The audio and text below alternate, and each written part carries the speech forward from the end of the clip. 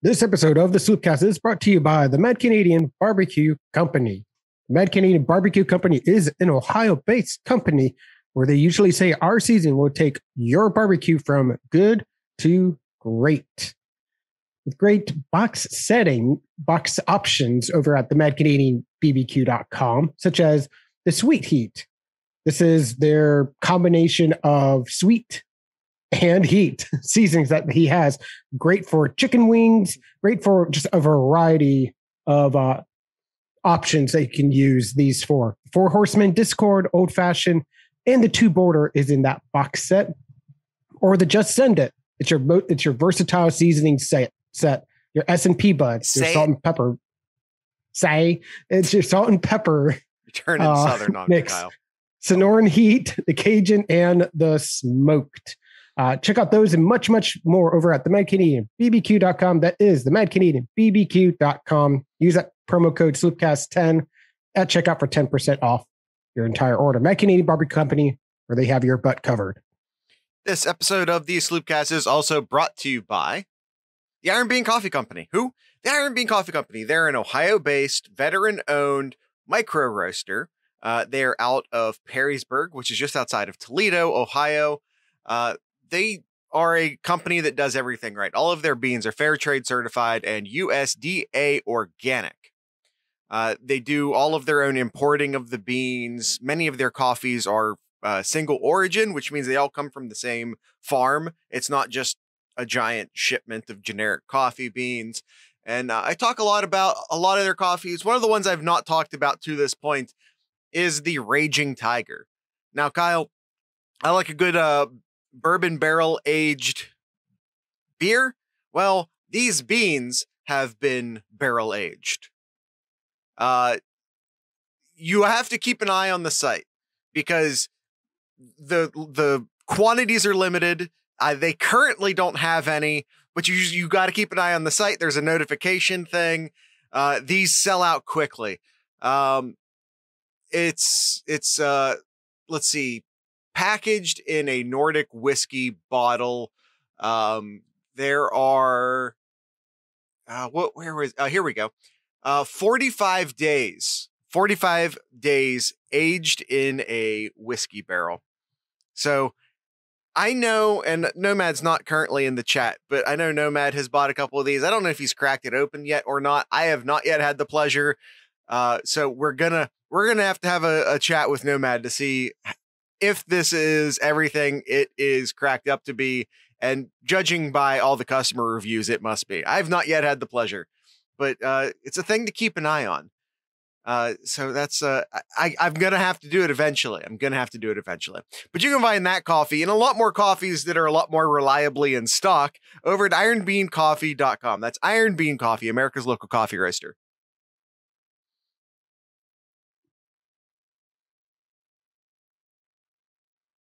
What's up, YouTube? This is our private YouTube conversation just for YouTube people. Everyone else is listening to our Black Keys intro that you can hear on the audio only version.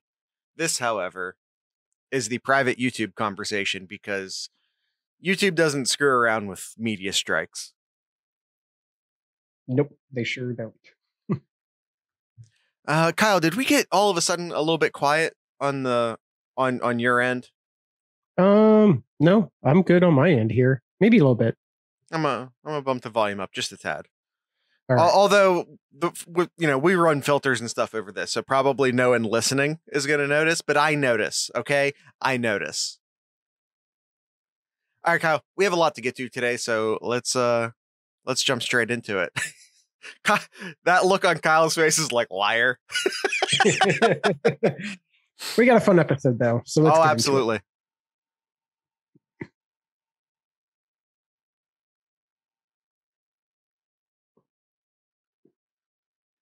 You've got barbecue back here. You're all invited. Oh, welcome to the Sloopcast. How are you doing today, Kyle? I'm doing all right here. How are you doing, Jared? Uh, you know, it's early. We're uh we're we're still in upper phase of the day. So if anything breaks, if anything breaks uh late on Sunday, sorry. Just blame me. Just blame me. Whenever we have to record at a weird hour, it's almost always Kyle's fault because he actually has a life. I got my um my wife's little brother has a big um like a big uh, regional soccer game where if they win they get to play nationals. So he's in a, Oh, wow. like a club he's in a club soccer league, so it's a big game today. Pull that mic in right to your face there, Kyle. Feel like I feel like you're you, I feel like you're drifting. feel like you're drifting. Yep, I'm kind of backing up and then getting right into it. all right. All right, let's get into it. Um let's let's um cover some Buckeye news, the very few news, just little news that we got in the past week here. Uh Stuart, Scheduling it is too early. changes. Hold on. Stuart, we have been over this. It is too early to mow your lawn on, on for a Oh, weekend. No, it's it, we agreed, Jared. No, It's after 9 a.m. no, He is perfectly fine. no, 9 a.m. no, is fine. uh-uh. No, sir. I, I'm I'm all good with Stewart as long as he didn't do it at 8:59. 901, you're good. The, this is this is an ongoing thing in the Discord. Uh, all right. Uh, yeah. So sorry, Kyle. You were saying Uh, were being yeah, the professional. uh, hmm. Okay. Ooh, I don't know. I don't know about that, Stewart. All right. Uh, Buckeyes and Oregon scheduling another home and home. Well, not really another because COVID and stuff, but they scheduled a home and home for 2032 and 2033. technically they did schedule a home and home. It just didn't just didn't pan out that way. Yeah. So 32 and 33, you know, I, I like seeing these big time matchups. It's just, it's just too far away. Yeah, and this is a, this isn't a Ohio State problem, nor is it an Oregon problem. Uh, it's just a college football problem that they schedule these things so far out in advance. And I'd like to see that change, but it would take uh, cooperation across conferences. And if last year taught us anything, there is there is none. So Uh, Gene Smith. Gene Yes. Smith getting an extension. There was a lot of rumors, a lot of going around about is Gene Smith heading out heading out west to be the Pac-12 commissioner? right, Nope. He decides he he he wants to stay at Ohio State and for the record, I don't. I mean, I I don't know he was offered the job. I so I, I don't know if it was his decision to make, but uh, Yeah, Oh. true, true. But either way, Gene Smith getting an extension at Ohio State. yeah, the Pac-12 was looking outside of academics for their commissioner, and they they followed through on that. I think the person they picked up is, I think, on the media side of sports. So I I'm I'm not I'm not 100 percent sure. And Kyle, do not look it up because I do not care. It's fine. oh, it, it's probably a good thing because you're gonna you're gonna probably struggle pronouncing his last name. There we go. So it it, it never happened. Okay, right. Um, And just Speaking I- of just future- for the record, I like Gene Smith. I know that a lot of Ohio State fans do not like Gene Smith, and I get why. I, I do think there were things mishandled, uh, especially around Tatgate and other other stuff. And so I'm not I'm not saying that he's done a 100% perfect job at Ohio State. That's not at all what I'm saying. Um, but I will say he was a huge advocate for the university and the football team and for small fall sports in general last year. And I think he deserves a ton of credit for that. I think that he hired Urban Meyer, which took this program over the hump.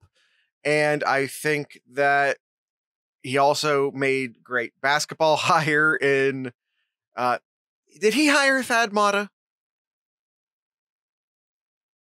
Well, regardless, he hired Holtman, so that was great. He and Urban sort of together kept kept the band together by putting Ryan Day in charge of the football program. That's turned out to be a great decision. A lot of a lot has been right with Gene Smith. And I again I'm not excusing the things that went wrong. I'm just saying he's also done a lot of things right. Mm-hmm. Yep. Uh, speaking of future games, the early the early point favorite has been announced. Yeah. Ohio State 11 and a half point favorite over the Skunk Bears up north. Uh man, I I feel like that's a steal. Is that a steal? Like, don't real life gamble, I, I, I and so. for and if you are going to real life gamble, for God's sakes, do not take my advice. But I feel like I feel like that number is only going to get bigger as the season goes. I agree. Yeah. I agree. Uh, last thing here, I'm um, kind of reiterate from last week's episode. Uh, not this week, not this weekend, but the following weekend, uh, June 4th weekend. So June 4th through the 6th is the the weekend for recruiting for Ohio State. A lot of big, big time prospects coming into Ohio State for a visit. Be sure to check out last week's episode for more information as we go in depth about players coming in for the visit and who to keep an eye out for. Yeah. Yeah, yeah. It's like Kyle said, something we went in depth on last week. Um, I we provided 16 names, uh, many of whom are visiting on June 4th. 16 names of uncommitted players who I think are among the most likely, you know, out of that pool are among the most likely to to join the Ohio State class. Yep. All right, Jared, let's get into the meat of the episode here. Yes, let's. So, uh, one of the things we like to do over in the Discord channel is ask people to not just provide us Ask Sloopcast questions, standard Ask Sloopcast questions, but we also ask for um, the what we call wasteland topics. And a wasteland topic is for this uh, this time when we're sort of after the draft, but before the fall camps, and we don't necessarily have a ton of Ohio State news.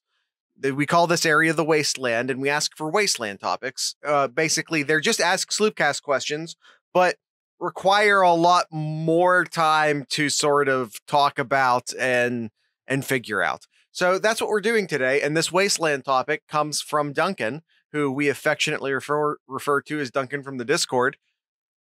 He says, pick a team uh, or more. He he said two, but we're doing a lot more than two today, Duncan. Uh, pick a team or more uh, that year after year is great, but can't seem to get over the hump um, to the elite. He name checks a few teams here. Uh, diagnose what's keeping them from making the jump and what they need to do. Uh, uh, nope, that's not what he said. And and what is it they do so well that keeps them almost elite? Uh, so Kyle, we we made uh, a list of teams here, mm-hmm. and mm-hmm. I mean, I, I I stretched this question a little bit.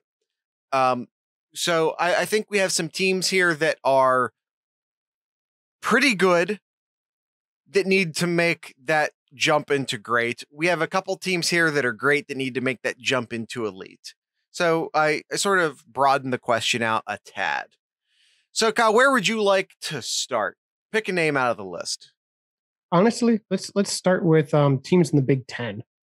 Let's, All right. Let's, let's do teams in the Big Ten, and I think you know let, us go let's go let's go out to the as we like to classify them as the big northwest conference okay division um let's go let's uh, go just to for the record that's big north west not I, big northwest I, yes um wisconsin go with wisconsin the team that for the most part sure. um year in and year out always seems to be really good gives um top tier teams troubles when they play them.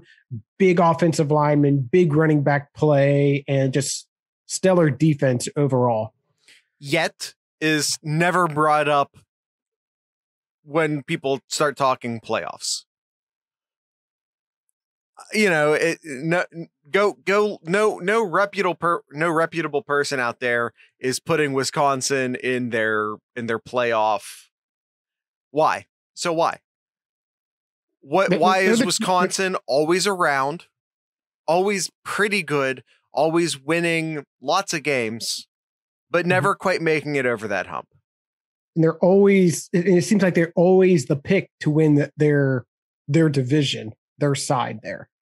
Uh, yeah, I would say more often than not, um, them Northwestern, Iowa seem to be those teams. But yeah, Wisconsin, I would definitely say is probably the most likely year in year out.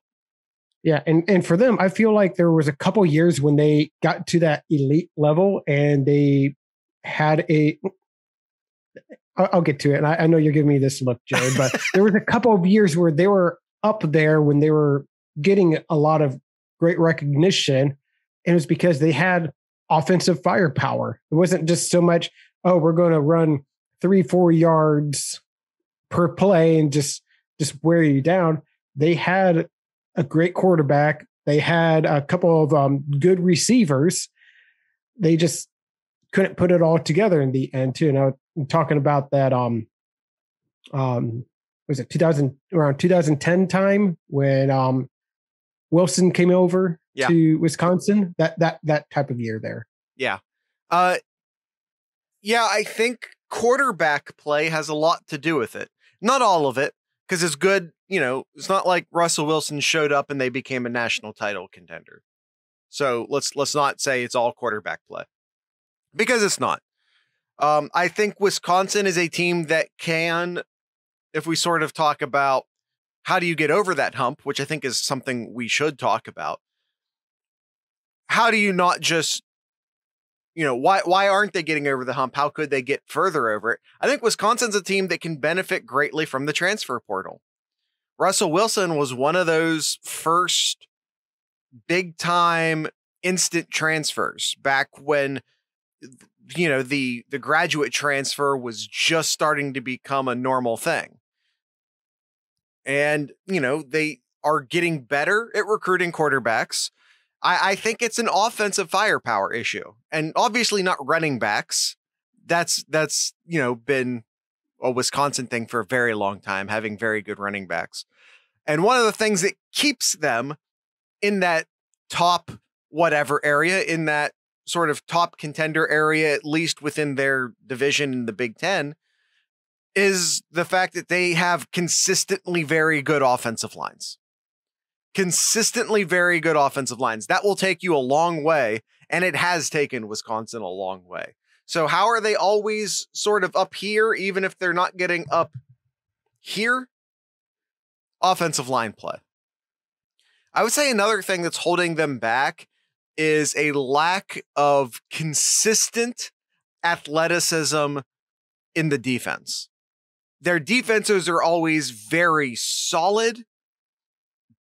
But aside from an occasional what, aside uh-huh. from an occasional defensive back here or there, their defenses are mostly solid but not great. I eh, so it, it, I think it, for me for me Jared and I think I'm going to get a lot of um a lot of discussed um takes here really reminds me of like Big Ten in general. Yeah. In the mid to late two, or really the the two thousands, solid pre, defense. Pre-urban then, Big Ten. Say but it. The, the pre-urban. But then 10. all of a sudden you go into bowl season and you get into more. You get to play teams that are more athletic, and you see why you see why there's that difference. Then. Yeah, it's sort of like why when people talk about, you know, when you hear, and I know, oh, Ohio State fans, Big Ten fans, they don't want to hear this. But when you hear the term SEC speed, that doesn't mean that there aren't any fast players in the Big Ten. That means that in the SEC and at Ohio State and other elite schools. So we're also talking about Clemson and we're also talking about other elite schools here. But when you're talking about like that SEC speed thing, we're not just talking about the wide receivers or the defensive backs. We're talking about the defensive linemen who have like that twitch, who have that instant get up and go. You know, it's it's it's more of a general team speed than it is a you know fastest Mm-hmm. player versus fastest player thing. And I think that's one of the problems with Wisconsin and a lot of the teams in the Big 10 is a lack of consistent athleticism. Yep. Agreed. All right. Um, we got a lot here. I know we could spend a lot of time on Wisconsin, but let's let's move on to another team. Uh, going out east here, um, are not rivals Penn State. Yeah, not our rivals. Uh, I think one, I, I have to put a lot of this on James Franklin. Uh, One hundred percent. That's that's not my one hundred percent. Well, that's my thought. That's my thought right away there. Uh, I feel like great recruiter. I think he's a great motivator, but I think as an in in game coach Absolutely. is not good. He's not good. He's made some very very questionable decisions Overly and- conservative. Um, in in some of the like big games, whether it's against Ohio State, against Michigan, against bowl games, whatever the case may be, very questionable. And just again, kind of like with Wisconsin, not consistent, but I not a not consistent team, but I think more so it's the questionable play calling down the stretch. play calling and just game management in general. He's a terrible game manager. James Franklin is a terrible game game manager. Um, and I and I I think there's a cultural issue at Penn State. I, I don't see a cohesive team a lot of the times when I see Penn State. That's that's just my feeling on that. Um, Mhm. and again, Yeah. when you talk about culture, that is a that's a coaching issue. I mean that that's the head a cultural issue is a is a Penn State head coach issue. And Honestly, Jared, let, let's let's combine this with Michigan too. I, I feel I feel like what's happening Penn State is similar. I feel like what's Michigan, happening at. Michigan is more complicated than Penn State. Uh, personally, But I feel, I feel like what you're saying really carries over to Michigan as well. Uh, as far as there just being a culture issue, absolutely. Um, but yeah, uh, um, I, I think Penn State recruits well. Um, I think they were recruiting better, but I think that the shine has come off of the James Franklin era at Penn State. I think James Franklin probably was the perfect hire at that time, and he absolutely brought Penn State up back to a certain point. But I I don't think he's sometimes he sometimes you're not the guy that gets to the promised land, but sometimes you're the guy that gets you to the guy that gets you to the promised land. And I think James Franklin was that. And I think that when he does leave Penn State, he will leave it better than he found it. Mhm. And I think he deserves a ton of credit for that, but I don't think he's the guy to get Penn State to the national title. Yeah. I mean, it's not a lack of um, players there too. I mean, since 2017, so the past uh, five recruiting cycles, top 15 in each year, and even as high as uh, sixth, I believe. Uh, so looking at 2020, 15th, 2019, 12th, 2017, 15, uh, 20, 2018, sixth. They, they had the sixth best in 2018 here. Yeah. Like it's at, at that point, talent's there. It's it's got to be it's got to be on the coaches to whether it's motivation, culture, um, whatever the case may be. There, um, I, I feel like this is this really brings up um, a quote that I re, uh, I recall Urban Meyer saying a couple years ago, I believe, and this goes a lot into Michigan as well, where. Or I'll, I'll just kind of just start reading it here. Uh, Urban Meyer was quoted here every time I see a team struggle, every time it's fallen into one of three issues. One, it's a trust issue with coaches and players. If the players don't trust the coach, the coaches don't trust the players, or it's just, or it's awful if the players just don't trust each other. Um, That that to me feels very Michigan right now. Yeah, um, it's a dysfunctional work environment where the expectation is very high, but we don't work hard. I can't, I can't, I can't say for certain that's Michigan and or Penn State, but Right. um, and the last one is you got a selfish team. Football is an unselfish sport. You got to, you have to do the nasty. If I'm a running back, I got to go and protect my quarterback. You'll always get the carry of the ball, and sometimes you have to go running down a kickoff 22 miles an hour and throw yourself into someone going 15 miles an hour on the other way. It's not fun, but it's what you do. Um, you love your team and teammates. Yeah, and you know, it's it's it's hard to say exactly what is wrong within within Penn State, but I, think it's. I think I was, I was gonna say- me, I was going to say he, he and he was he was talking more so at the time. I forget again. I forget which year this was, but it had to be this. directing- It had he was directing this- 2020. yeah, he was directing this to Penn State, LSU, and Michigan, which means it had to have been 2020 because remember penn state dropped the first four games last year lsu tanked last year without joe burrow and michigan's michigan um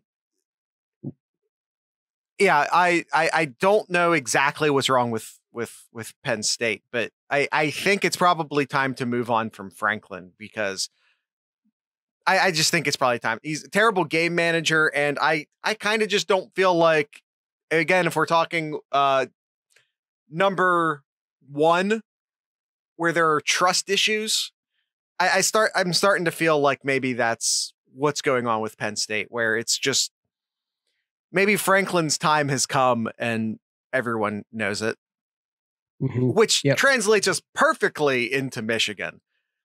Yes, and I no I one feel like thinks Harbaugh is going to be there in two years. Does anyone think? And I come on, someone raise their hand. Does anyone think that Jim Harbaugh is the head coach at Michigan two seasons from now? I think every Ohio State fan wants to raise their hand. Yeah, no, no, no. I didn't ask what you want. I asked what do you think is going to happen. Is he still the head coach at Michigan in two years, Kyle? For those in audio, Jared and I are not raising our hand. No, no, we are not. For the audio only listeners, uh, our hands are down. No, no Man, one like- thinks that. So, like, why like- would you go? Why would you go there and play? You know, it's sort Mm-hmm. of like what happened with Tom Herman at Texas. Urban Meyer basically orchestrated uh, an entire thing where he he basically Texas went after Urban Meyer. Urban Meyer, I don't know if it, I I would guess leaked the fact that Texas was courting him through his media people, his media buddies, basically to undermine Tom Herman as a is a giant middle finger to Tom Herman for everything that Tom Herman did to Urban Meyer. Um, Mhm. and at that point, Texas had no choice but to fire Tom Herman after that because there's no going back. You can't keep going with the football program after it became public knowledge that you were trying to replace him. Mhm. And Yep. and so that's part of the problem and we'll get to Texas. That's part of the problem there, but that's also part of the problem with Michigan. No one seemed eager to sign to re-sign here. Harbaugh was talking to NFL teams. Michigan wasn't trying very hard to re-sign him this offseason, and they finally do get a contract. And it's a contract that basically has no buyout clause. Like, and in college football, that's as good as a one-year contract. It's as good as a one-year contract. That's all it is. I don't care how long the term of the contract is. It's it's like it's like an NFL player signing a contract with no guaranteed money. If there's no guaranteed money on an NFL contract, it's meaningless. It's absolutely So- meaningless. And that's So with, what Harbaugh is currently under at Michigan. So you want to talk Michi- about a lack of trust. mhm. Harbaugh doesn't trust Michigan. Michigan doesn't trust Harbaugh. And everyone, including the players, know it. So why would the players instill any trust in Michigan or Harbaugh? Mm-hmm. You want to talk yep, about trust that, issues? There, it's all Michigan is right now. Look, look at look at all of the all of the transfers going out of there, not just players right. but coaches too. Yeah, anyone who has a chance to go elsewhere is going elsewhere. They had a kid go to Tennessee. And Tennessee's nearly as big a dumpster fire as Michigan right now. Like if you're leaving so if you're leaving a what is supposed to be a top tier program to go to Tennessee, you know that's a problem. Mm-hmm. Yeah, no, absolutely. So that's number one of what Urban Meyer said trust issue. Number two here, dysfunctional work environment. Yeah. Again, there, well, yeah, but I, and all, with all due respect to Urban Meyer, one leads to two here. Like if there aren't, if there are no trust issues, then the work environment's dysfunctional. Yeah. And, and part of me too, like you see a lot of the,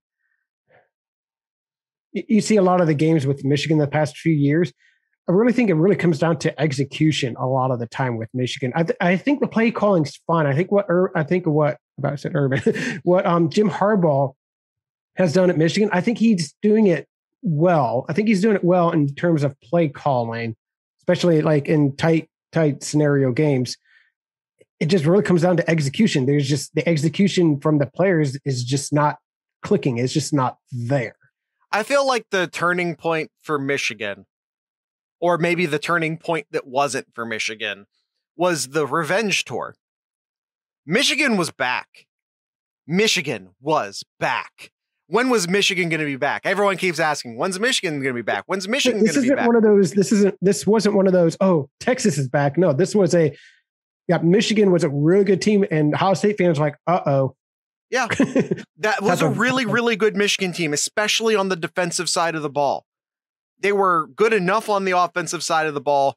Defensive side of the ball. They were, I think at one point they were like number one in pass and rushing defense. Yeah. Like they were, they were stout, stout defense. And that was the year the to turn around Michigan. And then what happens when they showed up to the horseshoe? I was saying, and then Columbus happened. They got they didn't just lose. Like it sucks yeah. when you lose, but Ohio State said, "Oh, you got the number one defense in the country. Let us carve that to pieces for you." And they just it just ran them off the field, and I, I feel like it's just all gone downhill from there. And that that was the beginning of the end for the Harbaugh era. Mm-hmm. Even though it's still going on, it's still Oh yeah, we're not at the end of the end of the Harbaugh era yet. That was the beginning of the end of the Harbaugh era. Mm-hmm, and yeah. uh speaking of the Harbaugh era, say, let's let's yeah, yeah, you, let's let's go ruined, to Toledo. What I was going to say. let's go to Toledo, which is not not Michigan. That's where you stop. When you guys when you get to Toledo, just stop. Nothing nothing good happens after Toledo. Also, mm-hmm. when you stop at Toledo, make sure to stop at the Iron Bean Coffee Company. The Iron Bean Coffee Company is an Ohio based, veteran owned, micro batch, roast to order coffee company. They have all of the amazing coffees. Uh, basically, do you like a medium roast? Do you like a dark roast? Do you like a flavored coffee? Do you like unflavored coffees? Do you like not just a dark roast, but maybe you want to even go to the next level and get a straight up black roast. That's right. They they go next level and get to an absolutely black roast coffee. Uh, that is the Fear No Evil. The Fear No Evil, uh, like I said, black roast coffee, roasted beyond dark. So if you're a dark coffee person, try your hand at this. Um, it's has a smell is smoky, exotic, and rich. The taste is bold.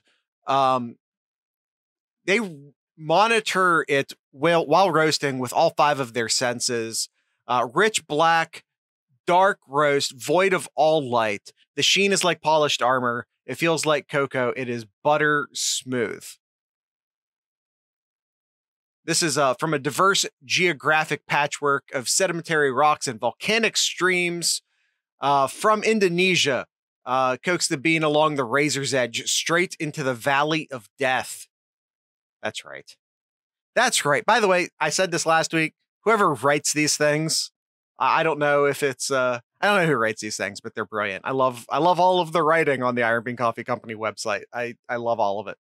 Um, so uh, low in acidity, high in flavor, never bitter, completely smooth taste. A lot of the things you necessarily wouldn't expect out of a black roast, but but here we are. So you can pick up that coffee, or you can pick up a lot of other coffees, including more of a traditional dark roast or some medium roast, and they even got the Loki, which is a light medium roast. It's a medium light roast. Uh, so you can check out all those things over at ironbeancoffee.com. That's Iron Bean Coffee, America's local coffee roaster. And once you're done in Toledo, head down I 75 for about 45 minutes, an hour, depending on how fast you go, and go 30 minutes and meet up. Me. 30 minutes and go meet up the Mad Canadian Barbecue Company in Carey, Ohio. Mad Canadian has been sponsor of ours for long a long time now. A long time. Long time. Long time. Uh great, great guy um with even maybe even better seasonings. And eat not great guy, better seasonings, even better than that, his beard. So if we're, Ooh, if we're going, yeah. if we're going tier, if we're going tier, one beard, two seasoning, three, great guy. Yes. um, but it's all real close. yeah. Mention some of the seasoning or the some of the boxes that you can purchase over at the MadCanadianBBQ.com. Let me let me go into some of them here. Uh, the Discord here, which is an interesting one. You're like Discord. Never heard of that before. Well, it's because of the great the great community we have in our Discord, which you can find in the doobly doos down below.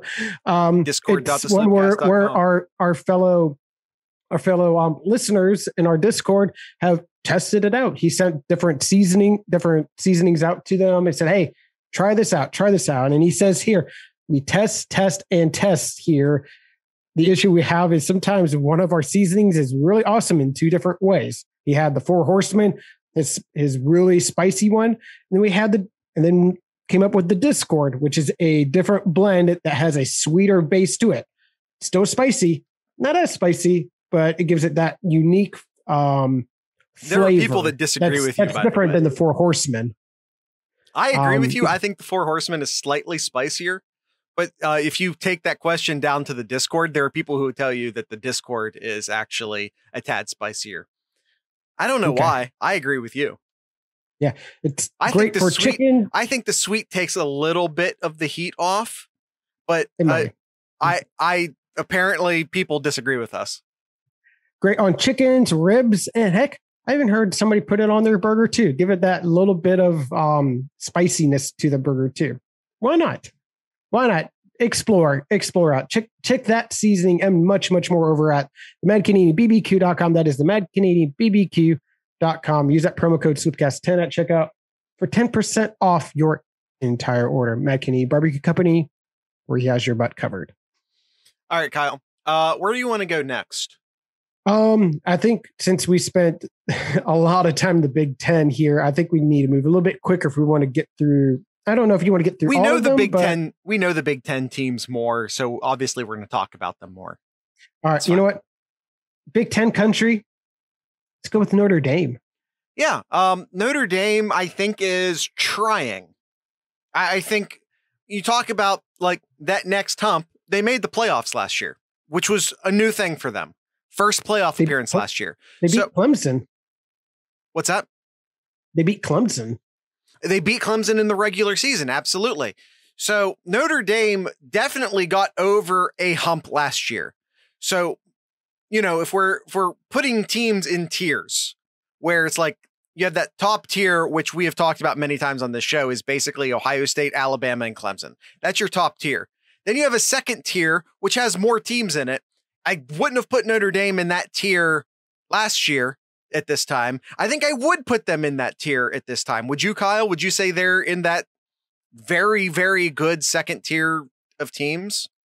Absolutely. And their and their uh recruiting says says wise too. 15, 18th, and then they had the ninth best last year too. So it's really going to come down to how are are these players going to develop? And once you get over that hump, this this is the year to really figure out Notre Dame. Are they going to continue to stay over that hump there and be able to compete, be that team that everybody talks about. Who's going to make the playoffs this year? Alabama, Ohio State, uh, Clemson, and that, Notre Dame.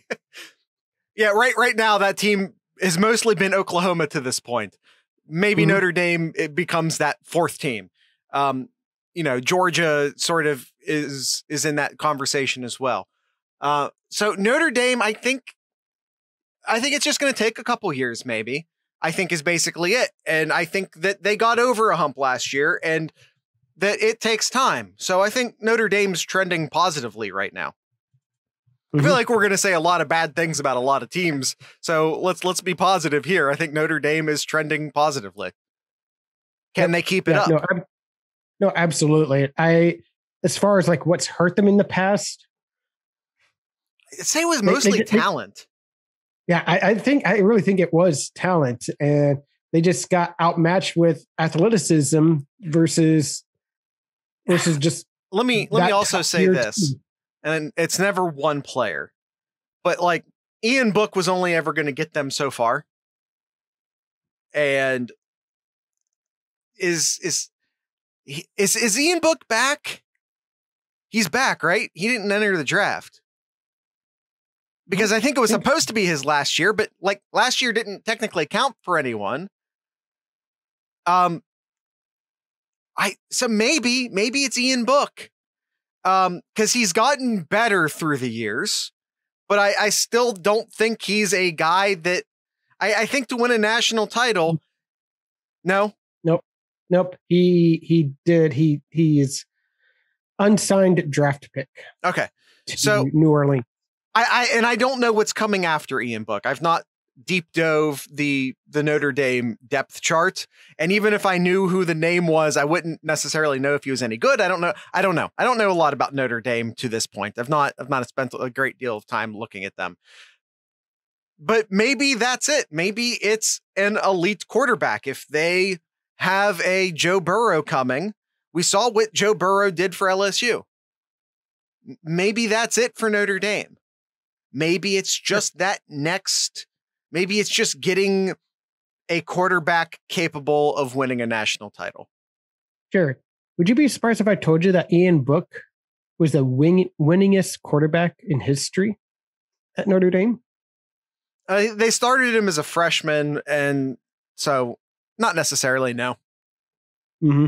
Yeah, they got how many? How many freshmen? How many quarterbacks started four years at Notre Dame? Yeah. That, that's, you know, it's just a numbers game. Yep. Yeah. It, it, it looks like it's a quarterback battle there at Notre Dame. So we'll see. Yeah, we'll see. Yeah. So it really might just be that simple. All right. Uh, mentioned mm. Georgia. What, what's, what's it for Georgia? What's, what's getting them over that hump? What, I mean, is it just, is it Nick Saban retiring? Is that what it's going to take? I, I, think part I think part of it is is that, but I think the other thing too, it's I think a lot of it's that execution part I've mentioned in other teams too. There, there's there's been there's been some parts where it's just it just isn't clicking in that down that stretch there. Can I can I can I throw uh so I mean this kind of comes down to execution. Uh Kirby Smart has a real bad habit of not starting the correct quarterback. Yeah. He kept Justin Fields on the bench. That was a mistake. Um, the USC transfer, whose name I can't remember, they didn't put him on the field until late into the season when it was already too late.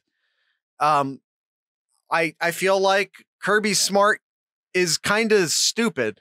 I think is what it boils down to as far as making personnel decisions, at least at quarterback. I Daniels. JT. Thank you. JT Daniels. Yeah. Um, but now you know who's going to be the starting quarterback or potentially is that starting quarterback this year? Who's that? Buckeye fans should know this name. D'Wan Mathis. Well, he was supposed to be the guy last year too. Mm-hmm. Um, but we we don't have. oh no, no, I'm sorry, no. That's that's right. You know, he's he's not. That's right. He he transferred. Yeah, I thought so, but I wasn't going to question you on yeah, it because it looked like out. you were yep, looking he, it up. He, He's becoming an owl now. An owl? Heading an owls. Right. Temple. Temple. Ah, Temple. Our Is Rice also the Owls? It's you know I don't care. It's fine. We're moving forward. Uh, Yeah, Georgia I- I is will say- basically start the right bottom- quarterback. Bottom, Nick Saban bottom line, retiring, start the right quarterback is what Georgia needs to get over the hump. there we go. Florida. Right, let's um, let's stay in the SEC East. What about Florida? They had the right quarterback this year. They had the right wide receivers this year. Defense looked solid enough. Um, Geor- uh, Florida looked like a real good team at times this year, uh, but still finished the season eight and four. This list here that we have here, they're, they're honestly the toughest one for me to point out because it's like talent's there, play calling's there, coaching seems to be there. Like, then what is it? What is it? Is it is it kind of like what you mentioned about Georgia? Is it because of Nick Saban? Yeah, Like- is is it just the general competitive level of the SEC? Which again, I know Ohio State and Big Ten fans who listen to this podcast don't But- hear it is higher. Um, but we got to figure out like what's for Florida here. What is it that gets them over that hump? Yeah, I mean, I personally do not like Dan Mullen. Um, and I'm not saying it's because of him. I'm not saying that because I, I really don't have anything to I maybe I just personally don't like him. Um, but I just personally don't like him. So maybe maybe maybe that's what it is for me. Um so yeah, I I don't I don't have a strong feeling here or there. Maybe they're just sort of starting to trend in the right direction and they just need to recruit and they recruit well. I'm not saying that they don't. But when you're comparing them to the top two recruiting teams in the SEC, which is Georgia and Bama, they're not quite recruiting at that level. Hmm. I mean, the la- last few years here, Jared, they were going back to 2018, 10 and 3, 11 and 2, and last year, 8 and 4. They're right there winning that, like, on winning average there, they're they're pretty much the same there. It's it's getting over that that hump there of losing probably losing to those teams consistently. Like it's I I don't know. Like what is it? Is it just is it consistency play play calling or just execution? You know, this is one of those times where I really wish Austin was in the chat because he uh, attends Florida and, you know, follows them closely. Um, so I'd really like to have his opinion on it. So maybe he can let us know afterwards. But I really don't have a good beat on Florida other than just the SEC being very deep. And- yeah, and and that's why I said of this list that we have here. That's why I always struggle. I struggle really pinpointing them, and yeah, I just struggle trying to figure out exactly what it is that the that gets them over that hump. Because like I'm just looking at all of their losses and all that. Um, like last year, they lost to Texas A&M, who was a good team. Very good. Uh, they did, I have they did lose L- they did lose to LSU, which was not a good. Yeah. Well, I how guess I guess did that, that, that, happen? that, is, that is a consistency I am seeing. They do they do drop a game like I seen 2018. They lost to Kentucky, right. and then in 2017, uh, they lost a bunch of they lost a bunch of games, including Missouri and South Carolina.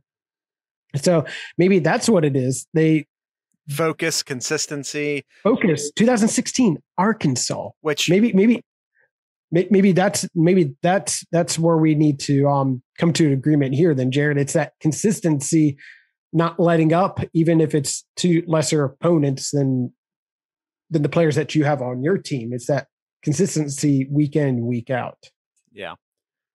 Uh, right, we brought um, up Texas A&M. Let's talk. Let's real quick. I think Texas A&M's a team on a positive trend. They finished in the top four last year, post playoffs. They're a team that could have arguably, arguably made the playoffs last year. Um, I think they're trending in the right direction, and it's just you're in the same division as Alabama, and like God bless you. That's is basically what it boils down to. I and I think maybe they're a quarterback away if they're able to develop, recruit, develop an elite quarterback. or bring one in via the transfer portal, pull an NLSU. Why not? I, I think maybe they're a quarterback away, and maybe it's just a result of being in the division with Alabama and that just being it for them. Yeah, I yeah, I think I think it's going to come down to just yeah, it's tough. I, I agree with you. I th- I think they are trending in the right way. Like looking at their schedule the past couple of games here or past couple of years here, definitely trending in the right direction. Like 2018 and 19, they had they had a home and home with Clemson. yeah. So they they got they got the taste right then and there of of playing that elite team Right. other than Alabama. They play every year too. So I mean, boy, that that's a schedule right there. Clemson and Alabama in the same year in the regular season. Yeah. Texas A&M does not need to be taking that game. Like I'm all for people te- scheduling tough. Texas A&M does not need to be. Of course, that's the thing. When was that game actually scheduled? And was Clemson the current version of Clemson at that point in time? They probably weren't. Yeah, no, that's that's definitely true. Uh, All right, Kyle. but no, I I I, th- I think with Texas A&M, honestly, keep doing what you're doing, and you keep cr- recruiting well. You keep playing these teams, and like looking at 2019, it was close to Clemson, it was close to Georgia, it was kind of close to Alabama, but then you got your butts kicked in against LSU. Um, and then like looking at last year, Just um, one loss last they had year. the one loss to Alabama and it took care of business every year. Just keep Yeah. doing what you're doing. Yeah, Nick Saban. Hey, Texas A&M. Saban will retire eventually. It's fine. Just, just, just keep at it, guys. You'll be fine. Yep. All right. Texas, Jared. Texas. Uh, this is all. This is the their board and their boosters. I feel like Texas is a completely toxic program where coaches are not given the benefit of the doubt, who are given up on too quickly. Um, I, I feel like mentioned- the problem at Texas is all their administrative people, their their boosters who feel like they own the program, and I feel like they're ruining the program. what what I mentioned about Urban Meyer's quote at the beginning of the show, all three right here. All three. Yeah. I think I think the board I, I think not the board, the uh the boosters just need to let the people in charge do their job and and stay the hell out of the way. But they're not gonna do that. So I don't know how you fix Texas because the people who are filling the purses are the people who are ruining the program. Blinders. They need blinders.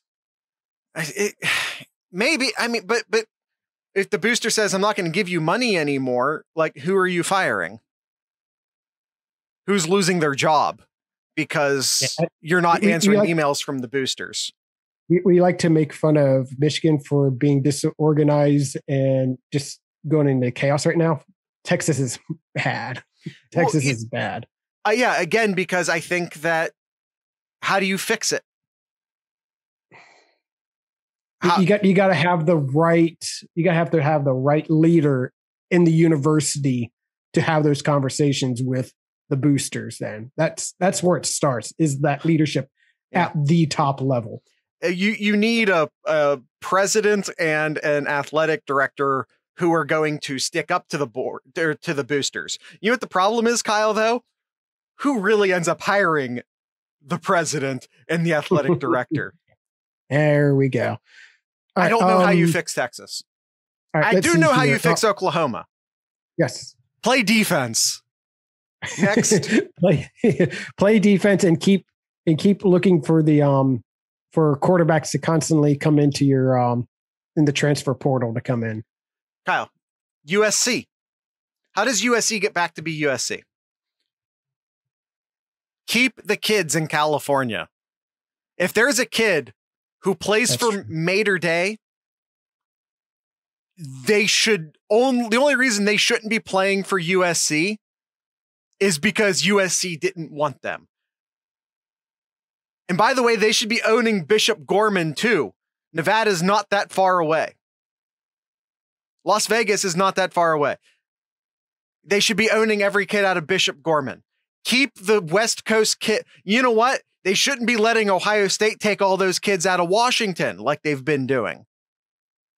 Emeka Egbuka, Gee Scott Jr., JTT, I still feel is coming to Ohio State.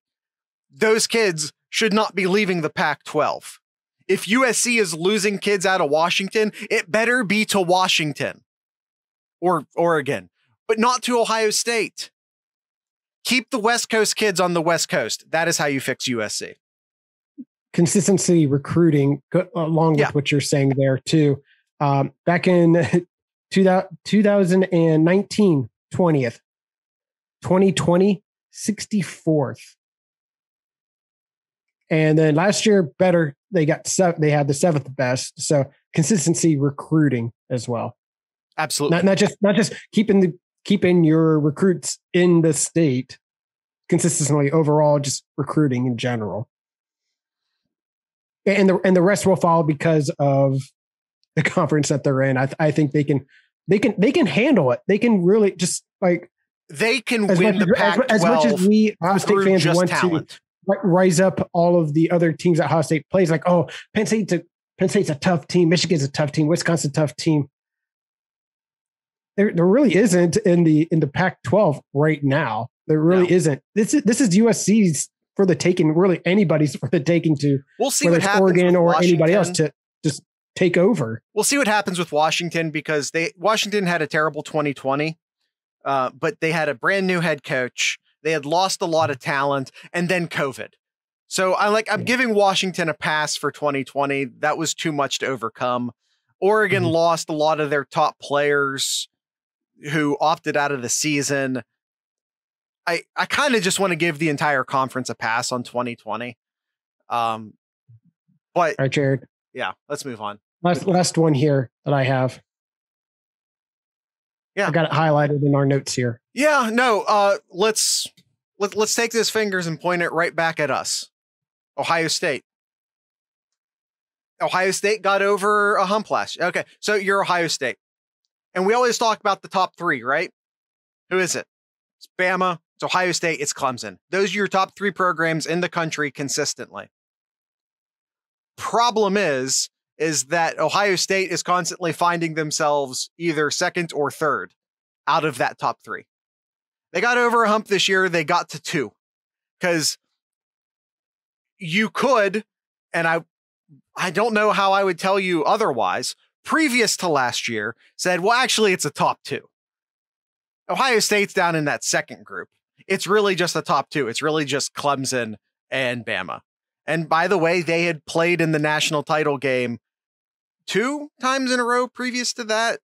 Um, no, well, previous, not previous to that, previous to um, LSU winning it. I think they had played twice in a row. Um, Bama has made the playoffs every year every except year for the year that LSU won. Clemson, I think, may has made every playoff except the first one. Yep. Uh, so you could have very easily said, and by the way, you could still uh, you're a little less successful because Ohio State beat Clemson, which is the first hump that they got over, and saying, yeah, we belong in that top three. So mm-hmm. Ohio State, I think, if you're talking, and when you get up to the top, the the, the it, it, it just keeps getting smaller the opportunity you have to improve. Mm-hmm. Ohio State, to me, last year confirmed that they belong in that top three with LSU and Bama.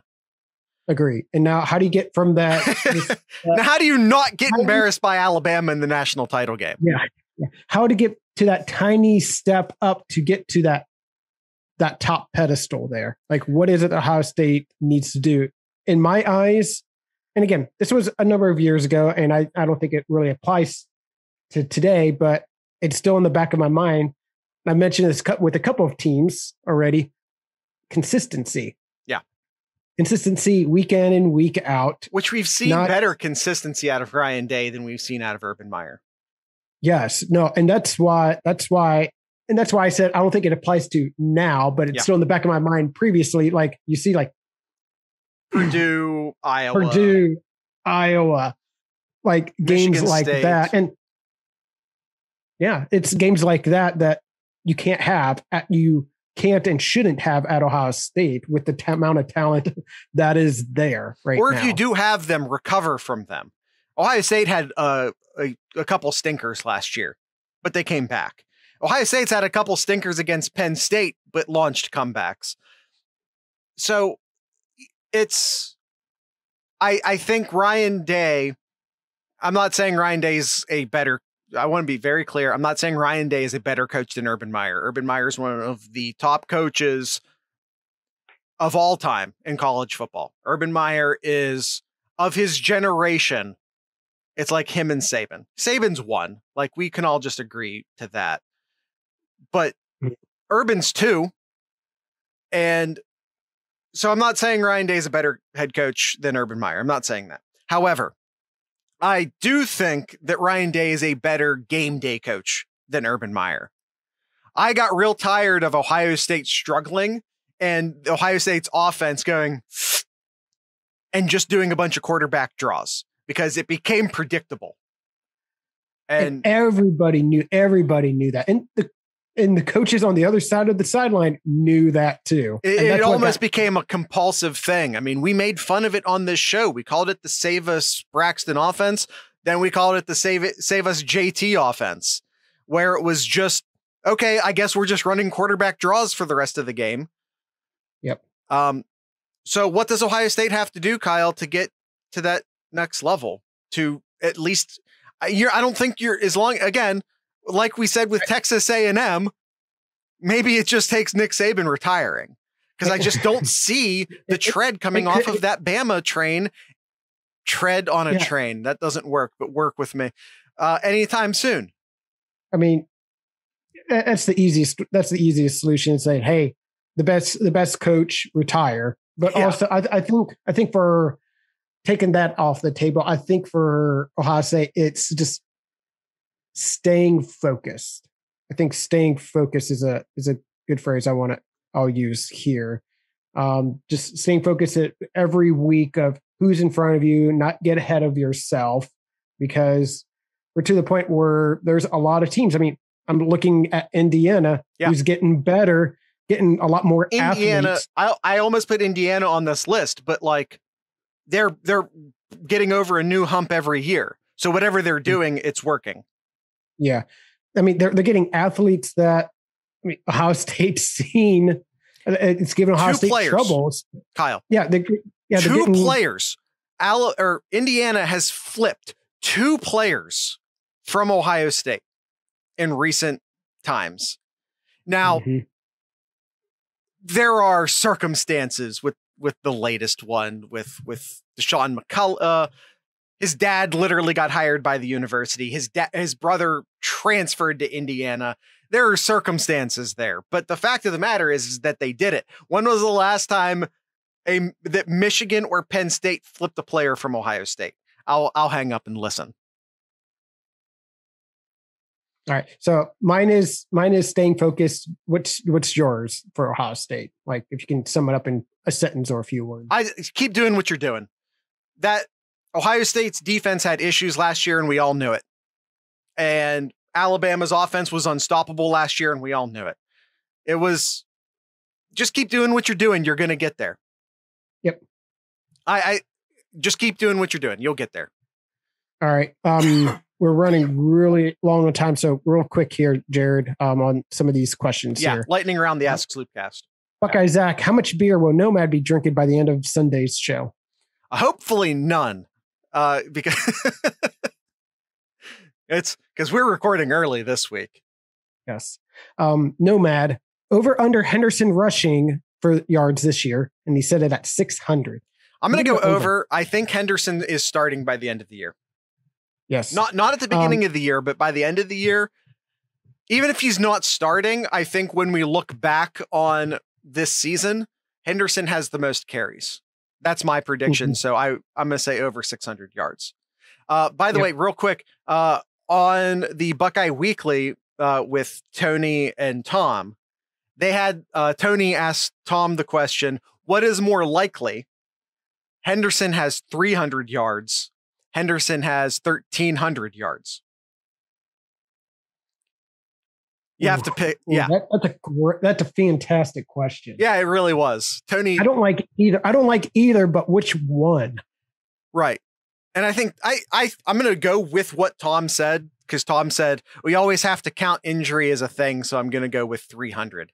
And I yeah, think I'm it's thinking- going to be such a committee this year, like we've never really seen at Ohio State in a very long time, where you're going to see a lot of different running backs get carries. Yeah. That I feel like any one running back getting to 13 feels unlikely.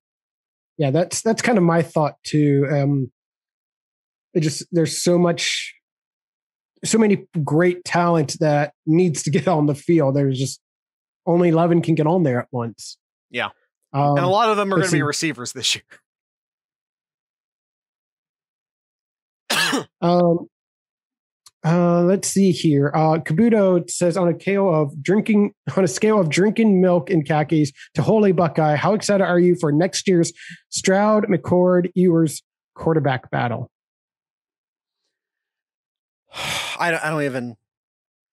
I am more, I'm, I'm more worried about this year before I start looking at next year. it, it's going to be fantastic. I mean, everything I'm seeing for all three of these quarterbacks, it's just it is just an amazing pool that Ohio State's getting in with quarterbacks, wide receivers too, but quarterbacks here. It's yeah. just it sucks that only one. By the way, can be on the field. It's way too early to say, it's just like there doesn't seem to be any university in in the lead yet, but Ohio State's in play for the best quarterback of the 2023 class as well. You might know his family. His last name's Manning. Maybe, maybe he's. I'm just saying Ohio State's in play. I'm not. I'm not. Ohio State's in play. That's all I'm saying. It's too early to say anything more than that. Yep. All right. All right. That's it. That's it, Jared. That's all we have time for today. Uh, did yeah, we got one from everyone who asked one. So yeah, that's all. That's all we have time for. Um. Yeah. Uh. That's uh. That's it. We're as Kyle said, we're going long on time. So uh, just go to the sloopcast.com, find some links and click on them and just see what happens. Uh, guys, we are wanting to, I haven't talked about this in a while. We are wanting to expand the Sloopcast into a daily show during the football season, but we we need we need a financial investment from people listening to achieve that. And you can help us out on patreon.thesloopcast.com. Uh, our lowest tier uh, get and well, actually, technically, we have a one dollar tier. The one dollar tier just doesn't get you any benefits, but at the three dollar tier, you can get premium access to our Discord. Which there's there's channels in our disc. The Discord one is public. Anyone can join the Discord. Discord.thesloopcast.com. Uh, but there are premium channels within the Discord uh, that you can talk to us and and you know maybe just be away from maybe the the general noise of the rest of the discord. Um, and you can get access to that for as little as three dollars a month. You get early access to episodes. You can listen in live while we record this and and join Stuart and Buckeye Zach and some of the other guys down there who are chatting during the show, giving live feedback. Uh, I, I feel like it's a lot of cool stuff for just three dollars a month, and you're you're helping us sort of reach that goal of doing this daily, which I is a thing I'd like to do, but for the amount of time it's going to take us, I I need to be able to justify the amount of time it's going to take us with with some financial assistance. So uh, please check that out. Again, you can do it for as little as one dollar a month, but you get a lot of cool benefits at three. So maybe maybe check out that three. And um, that's uh, t-shirts. Um, I'm wearing something from the 7071 store right now. This is the Columbus Panhandles, uh, which, if you don't know, was an original NFL team based out of Columbus, Ohio. Um, obviously now defunct, but they existed. And so now you can buy a t-shirt from the 7071 store, 7071.thesloopcast.com. And Kyle's wearing some of our Sloopcast merch right now with a beautifully designed logo, I must say. Wow. That's a beautiful logo. Why would anyone ever move away from that logo? It's so beautiful. Or or this one here. All right. Uh that that those jokes are for the uh those are for the YouTube people. Sorry, audio only listeners. Those were crew jokes. If you're wondering, those were those were crew jokes. Uh so speaking of the crew, Kyle, what is in Kyle's corner? Uh this right here. The crew. The crew. Uh, crew the crew, oh man. It, it was what a week. What a two weeks. what a, what a week. And the game was awful. It was awful, especially the first half. Oh, uh, and I posted and I posted something in, in our Discord. I and I just like, I just I just was in disgust of how they were playing. And then I actually tweeted at one point after the first free kick that was that went in the goal. Uh, I actually said on Twitter, still up there. I didn't delete it. I go, Oh, a tie would feel like a win right now because they they played terrible, especially in the first half. Then they get the equalizer, and it's oh, just like Lucas's awesome. Let's get this tie. Yeah, Lucas' goal, that second free kick, mm, money. That that is a thing of beauty that should be played like every week. Like that that's going to be up there like goals for Kyle, the year. his first his first free kick. His first free kick wasn't his best free kick of the game. His second free kick was the was prettier in my opinion. yes, the second one. Yeah. Oh, okay. Yes.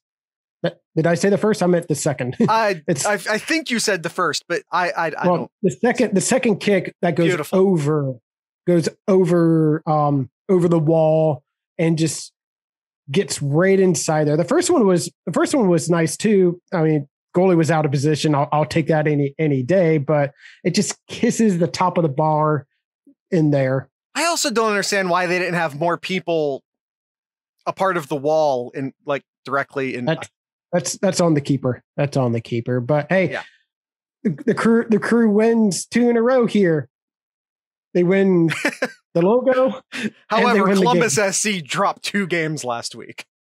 Yes, crew SC lost. The Columbus crew Undefeated. win. They win. All right, that that's it. We're long, we're long on time here, but that's all I got, Jared. All right. Uh yeah, so I think I think that's everything. Um just crew update, uh crew drama update. Uh we're back to Columbus crew. We dropped the SC, which is a win. We still have the new shitty logo. They replaced the stupid triangle with a significantly less stupid 96. So you're getting some history in the stupid modern logo. Um and it's just like we got the crew back as the official name. Um, so we're just going to count it as a win, and we'll deal with the ugly shield for a few years until they replace it. I feel like they're gonna. we're just going to have to deal with it. Kyle, over under new shield two and a half years. I'm going to go. As much as I want to say under, I think it's going to be over. Yeah, I think it's probably three or four years. We're going to have to deal with that atrocity of a logo I- until I- we either would say- revert to something old or get something even new. I I I'd put I'd put the over under at four and a half. I'd go under on four and a half. All right. Uh yeah, so that's that's it on the crew drama update. We're we're no longer mad at the crew, like we said last week. Uh and uh tonight's ending music will be brought to you by a I believe it is a Cleveland based artist. I know he's uh, signed to Flower Pot Records, which is a Cleveland based record company, uh, but he's definitely Ohio based. Uh, his name is Joseph Maxwell. The name of this song is Myself, not myself, myself. There's a space in there. It's on purpose. I didn't typo it if you're looking at the notes. Uh, so yeah, Joseph Maxwell. Uh, name of the song is Myself, and you can, uh, if you're listening to the audio only version of this, you can stick around and hear that song. And if you're not listening to the audio only version of this, then uh, you're about to get some bonus chat content on the YouTube channel. So, with all of that being said, I'd like to encourage everyone to drink local beer, listen to local music, and of course, support your local podcasters. Once again, this is Joseph Maxwell.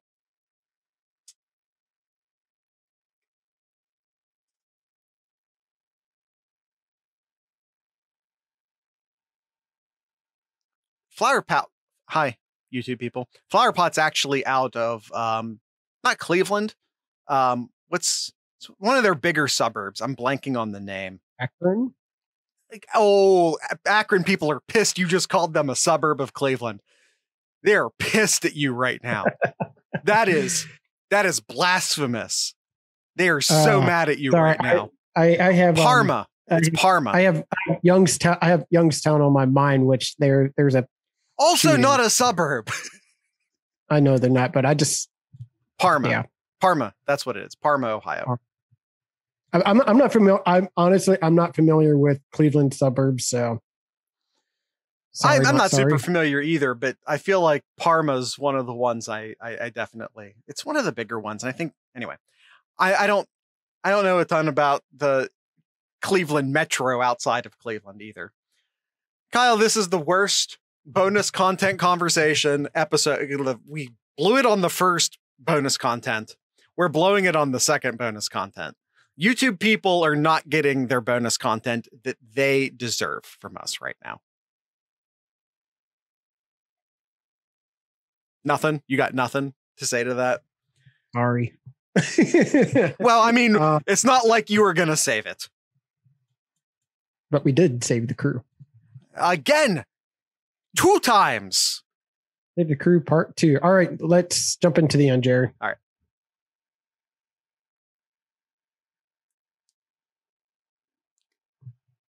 I want to thank Joseph Maxwell for ending today's show. I want to thank Duncan from the Discord for basically designing this episode for us uh, with his wonderful Wasteland question. And um, I want to thank the Iron Bean Coffee Company for sponsoring today's show. Uh, I talked to, I name checked the Loki last time. Um, this is coffee like a Viking. Uh, I wanted to give the other side of it uh, because we talked about the black roast, the Fear No Evil black roast on the last ad read. So let's let's go on the opposite side of the spectrum. This is the lightest coffee that you can get over at ironbeancoffee.com. Um, it's a it's a it's a light medium, a medium light, however you want to however you want to say it. Um, it is. I don't know how to pronounce that. I'm gonna try because it's the Sloopcast, and that's what we do. We fail horribly at announcing things. Uh you're good Cheffy. I feel like I made that way too European. Um, one of the most renowned coffees in the world. Wet process blend is higher in caffeine, lower in acidity, rich tasting, filled with fragrance. Citrus and floral are the dominant taste in this blend. It's an Ethiopian, uh, fully washed. Um, the Iron Bean Coffee's Loki is a light roast coffee made with 100% Arabica beans to give you the edge and confidence to slay your day. USDA certified and fair trade certified, uh, USD organic certified. I, you know, it's almost the end of the show. Just, just work with me here, everyone. Uh, uh, it ensures you get the highest quality beans that you can, that are available to you probably anywhere in the state of Ohio. Uh, Taste smooth, never bitter, subtle notes of citrus and floral. 100% natural. Natural. Uh, do not compromise with any additives. This is once again the Loki, the lightest. If you're into light roast or medium roast, lighter than medium roast coffees, then this is your go-to over at ironbeancoffee.com. That's Iron Bean Coffee, America's local coffee roaster. This episode is was also brought to you by our good friends over at the Mad Canadian Barbecue Company. Went into the Discord in our middle of the show. I'm going to go into the two border. Two border is another one. Doesn't you you see two border and you're like, what is what is that? What is a two border? Uh, well, I will tell you, this is a this is their flagship seasoning. So you know it's good if they're if they're coming out right out and just putting it right on their description. Flagship seasoning, the two border. It's a great mix of maple sugar, red pepper flakes that they use on all of their ribs. So if you're going out to any of his food trucks, which by the way, check out his social media to figure out where he and his food truck are heading to next. He uses the two border on all of their ribs. So if you want to know, hmm, I wonder what, what seasoning is this ribs? It's the two border. That maple sugar that gives a clean, crisp, sweet flavor, while that red pepper flake adds that right amount, right amount of heat to that pork. as Jared can um can contest here too, goes great on eggs as well. Absolutely. And bacon. The entire Yes. breakfast. And just all over the entire breakfast. Everything you just you got your plate of breakfast, you just put Hey, them all on. And if you like spicy waffles, go for that too. Yes. Uh, check out that seasoning and much, much more over at the MadCanadianBBQ.com. That is the MadCanadianBBQ.com. Again, social medias for his food trucks, any other announcements he has to say on there as well. Um, use that promo code SloopCast10 at checkout for 10% off your entire order. Mad Canadian Barbecue Company, where he has your butt covered.